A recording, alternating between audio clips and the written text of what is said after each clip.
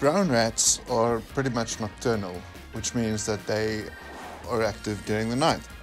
Rats are omnivores, which also means that they pretty much eat anything. So I gave them some tuna, um, and it didn't look like they were very interested in eating the tuna.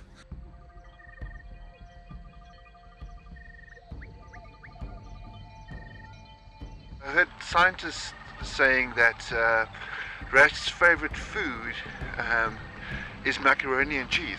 So that's what I did. I brought them some macaroni and cheese.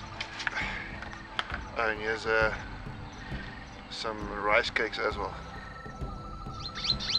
But uh, the following morning, this little slender mongoose came to steal all the macaroni and cheese.